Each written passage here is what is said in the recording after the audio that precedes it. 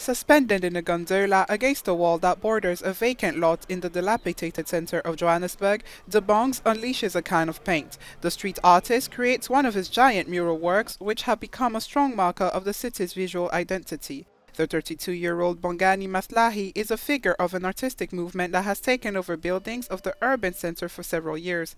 His portraits, with black and white faces, which leave colors to backgrounds, have a commercial value today.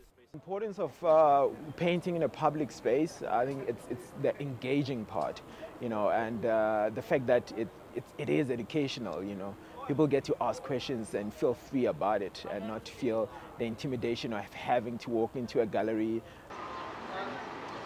His latest work, a commission from one of the world's largest streaming music platforms, depicts portraits of four local artists, including Afro soul singer Simphiwe Dana and Amapiano sensation Nobuhle they now see the city as bright because it used to be dull, mundane, and at the same time dodgy. But because of color, because of these lively murals that we paint, um, people start seeing it as, as a place that they can go into.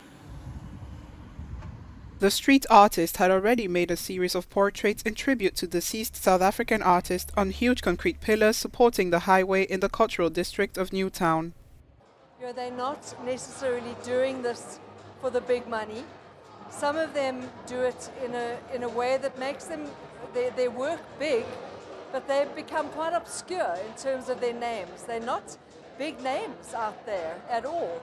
Um, and I find that there's a sense of humility um, a wonderful sense of humility, um, and there's less of an ego involved. The Bongs is one of many South African artists whom are participating in enriching and broadening South African urban culture one masterpiece at a time.